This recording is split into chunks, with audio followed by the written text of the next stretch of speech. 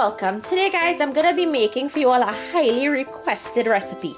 Now personally i've never had this before but from what people have been explaining and telling me to me it seems like a pehmi that you boil or you prepare like a coo coo instead of actually wrapping it in the fig leaves and boiling it. Now i know someone who also makes this and they bake it. So to make this sweet corn coo coo you're gonna start with a skillet or a pot on medium low heat. And to that pot, you're going to go in with some sweet or unsalted butter. You just want to allow this butter to melt. Once the butter melts, you're going to go in with your cornmeal, some pureed pumpkin or butternut squash.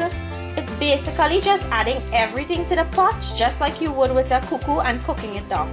So I'm gonna go in with some minced coconut and you wanna make sure that it's finely minced. Some pureed sweet potato.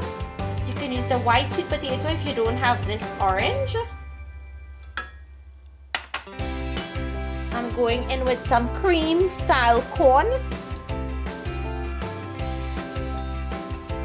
Now I'm gonna put in some vanilla essence or extract, some nutmeg, some cinnamon or spice.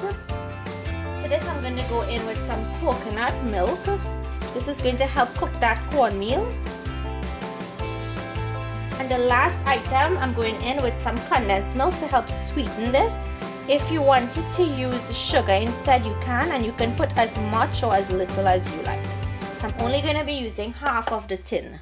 Now all you have to do is mix this to incorporate and you want to cook this on low heat because you want that cornmeal to take its time and cook. So all you have to do is stir stir stir. Don't walk away from this because you don't want it to start to burn on the bottom. Now if you guys wanted to put some raisins into this you can I don't like raisins so much so I am omitting them. So guys it's been 15 minutes since this has been cooking on low and if you can tell it's starting to pull together. It still needs a lot more cooking because we want this to be able to come together in a ball because if you were to put this out into your tray too soon it will not set so this needs some more time. So I'm gonna continue cooking it on low heat. And as I said keep stirring. You don't want it to burn. So guys look at the consistency. If you can tell it's a very sticky consistency and that's what you want.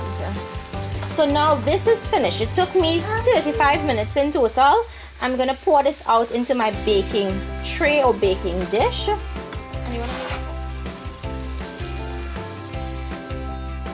next you just want to go in and spread this out evenly.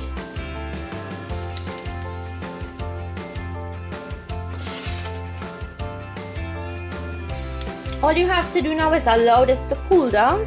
Once it cools down completely it will set up and then I'll be able to cut it and show you guys what it looks like. So guys the sweet corn coo coo has set. It has firmed up really nicely. So what I'm going to do is cut this into squares let me just take one piece out so you guys can see it smells like a combination of a pone and a pehmi. It smells so sweet and delicious.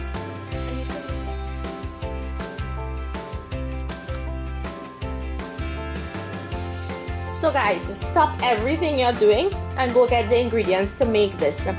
You guys are absolutely going to love this. It is so rich, so flavorful, so tasty.